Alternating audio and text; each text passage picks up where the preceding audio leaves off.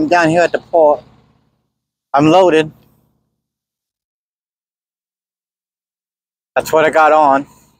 Got eight chains on this thing. Two going this way.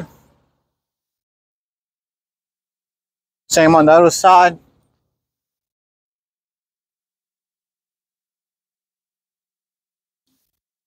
Same on this side.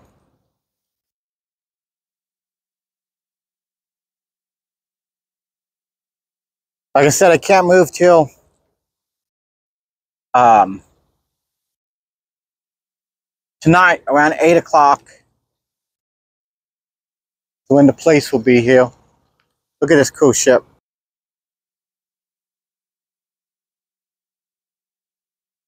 But anyway, can't move till the police get escorted out.